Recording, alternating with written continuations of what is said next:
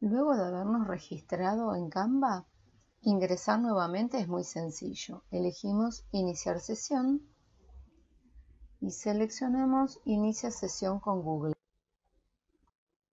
Elegimos la cuenta, ingresamos la contraseña, ya nos encontramos listos para trabajar.